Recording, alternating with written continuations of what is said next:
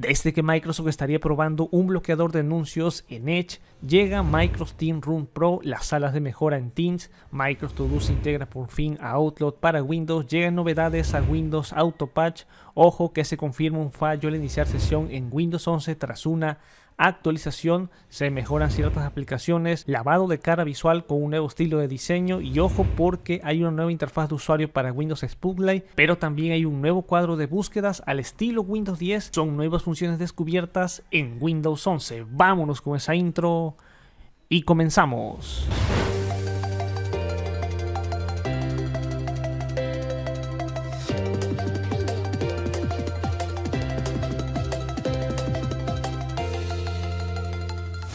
Y ahora sí, sean bienvenidos a su fuente refutable de información, la sección denominada como Windows News. Vámonos directo al grano porque de primera instancia Microsoft está probando un bloqueador de publicidad en videos en Edge, pero esto en Android. Y a falta de ver lo que está ocurriendo cuando Google implante la nueva API Manifest versión 3 en Chromium, reventando la funcionalidad plena de todos los bloqueadores de publicidad actual en los navegadores basados en Chromium, Microsoft adelanta novedades con respecto a esto pero en Edge dirigido para Android. Sí, se estaría trabajando en un bloqueador de publicidad de videos en Microsoft Edge, una pieza clave para todo aquel que ya utilice el navegador en la PC porque esto se estará migrando después de Android, después a la versión para Windows.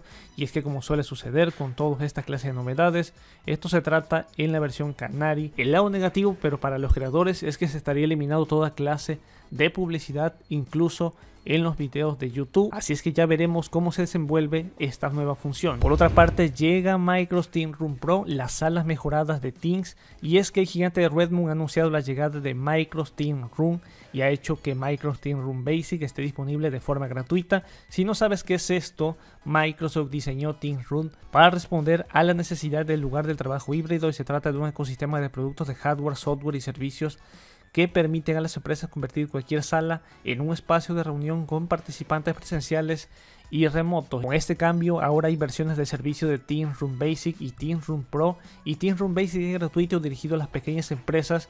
Team Room Pro costará 40 dólares por usuario al mes, combinando las características existentes de Team Room con un conjunto de nuevas características, así es que más detalles abajo en descripción. Por otra parte, Microsoft To Do se integra por fin a Outlook en Windows y es que Microsoft va a incorporar Outlook para Windows en una aplicación completa de tareas. La aplicación funciona como una versión sobrealimentada de tareas de Outlook y ya estaba disponible en la web, en dispositivos móviles y en una aplicación dedicada a Windows Microsoft To Do. Así es que Microsoft To Do tendrá un acceso directo dedicado junto a los accesos directos de correos, calendarios, contactos y tareas en Outlook para Windows. Así es que los usuarios del canal actual de Microsoft 365 pueden acceder a Microsoft To Do en Outlook para Windows activando el botón Com y Zoom y el equipo de Outlook dijo que esta nueva integración se extenderá a todos los usuarios de forma gradual. Por otra parte, llegan novedades a Windows Auto Patch y probablemente no lo sepas, pero esto es un servicio en el que Microsoft utiliza herramientas de despliegue como Windows Update for Business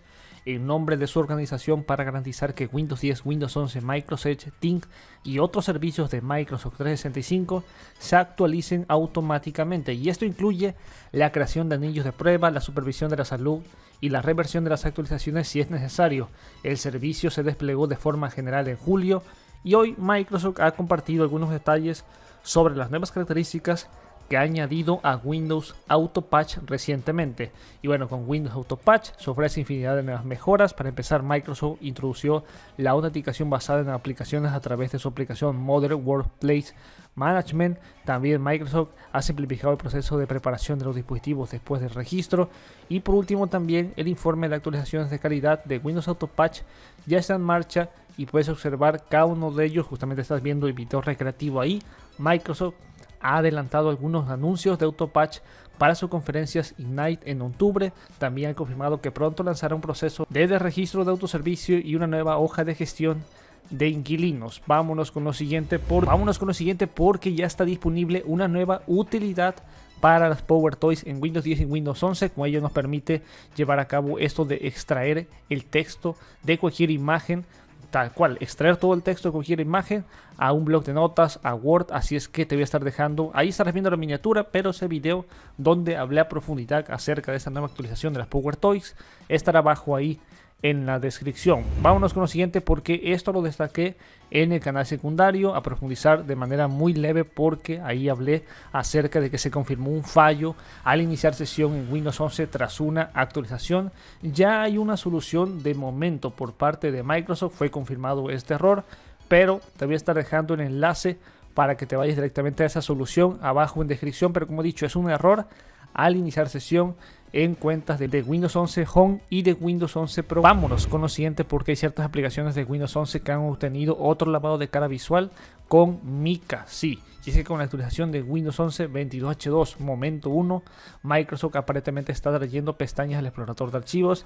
Esta versión de File Explorer aparentemente usa la variante Mica y bueno, Esencialmente también utiliza lo que es Mica HUD, que es prácticamente lo mismo, pero hay algunos ajustes notables para permitir mejoras de las aplicaciones con pestañas. Con Mica, Microsoft quiere crear una jerarquía de colores y el objetivo es distinguir entre varias instancias abiertas de la misma aplicación y Mica Alt es una variante de Mica y es similar al material de diseño principal, pero el tinte de color de fondo del escritorio es mucho más fuerte en comparación con el Mica original. Este nuevo material visual proporciona una jerarquía visual para más profunda para Mica y Microsoft recomienda aplicar Mica Alt al fondo de las aplicaciones con pestañas. Así es que Micaal está disponible para aplicaciones que usen Windows Ads SDK 1.1 superior mientras se ejecuten con la versión 22000 o posterior de Windows 11.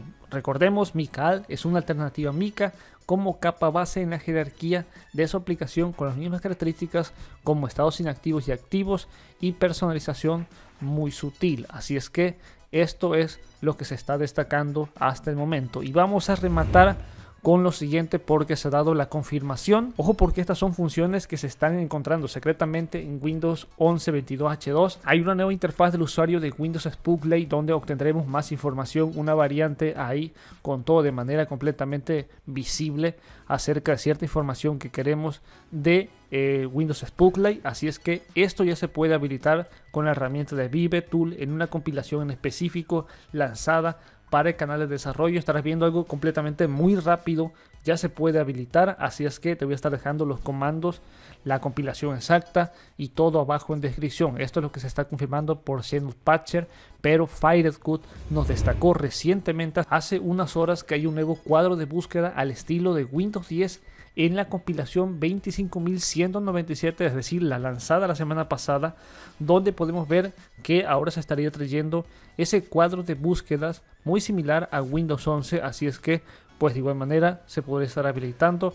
Como he dicho, son filtraciones secretas de ciertas funciones que estarían llegando Windows 11 22H2. En algún momento, yo probablemente sea en momentos 2 en el 2023, pero se está confirmando que están aquí secretamente y ya se puede ir activando con ciertos comandos con la herramienta de Vive Tool. Así es que no hay nada más que destacar. Recuerda como siempre suscribirte a este canal, activar la campanita de las notificaciones y nos veremos hasta la próxima. Master Tutos fuera y chao.